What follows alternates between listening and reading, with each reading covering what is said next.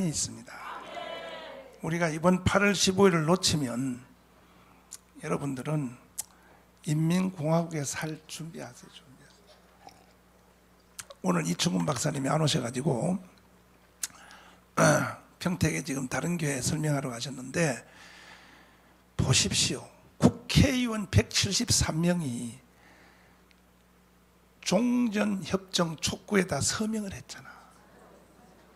이건 완전히 미친놈들이죠.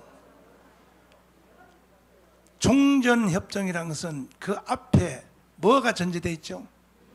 주한미군 철수. 주한미군 철수가 전제된 조건으로 종전이요. 근데 주한미군 철수를 말하면 국민들이 알아들을까봐 딱 빼놓고 전쟁을 끝내자, 전쟁을 끝내자. 전쟁 끝내자는 말은 좋은 말이지. 근데 사실은 전쟁 끝내는 게 목표가 아니라 미군 나가라는 것이에요, 미군. 그것을 그렇게 표현을 하는 거예요, 그렇게.